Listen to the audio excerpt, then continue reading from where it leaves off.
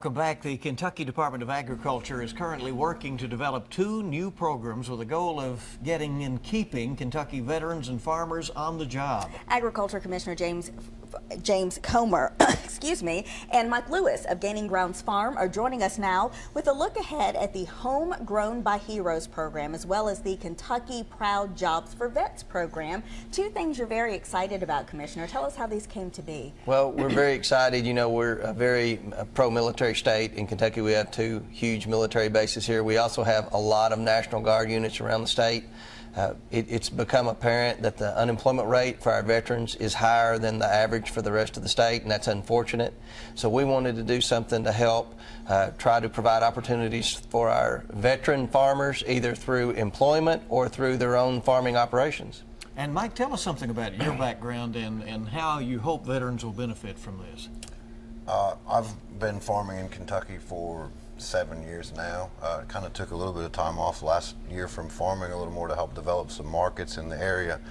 Um, and uh, I, believe that this program is obviously it's going to help veterans with uh, distinguishing their product at the point of sale. But I think the important piece of that is it allows them to tell a story, and uh, that that story isn't just that they're veterans and they've served; that it's they've found another way to serve their their yeah. country, and it's in helping build communities and support our communities with. Mm -hmm. And also there's the Homegrown by Heroes mm -hmm. program. Talk about that a little bit. That's going to be a special part of the Kentucky Proud program. There will be a logo that I, that is distinguishes itself from a regular Kentucky Proud logo. It'll say Homegrown by Heroes Kentucky Proud. So that's to be able to identify the consumer that this is a Kentucky Proud product that was produced or manufactured by a veteran farmer.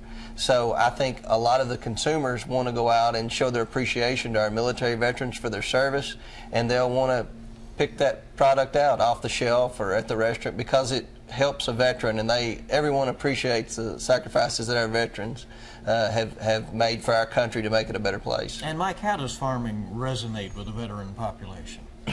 Uh, it's it's about service. I, I, think a lot of our veterans that are coming home right now are are being are coming out of the service not out of choice but through disabilities, uh, a huge number of traumatic brain injuries and they're still looking for a way to serve. It, that service is ingrained in them, and, and what better way to serve than to help build communities and feed people.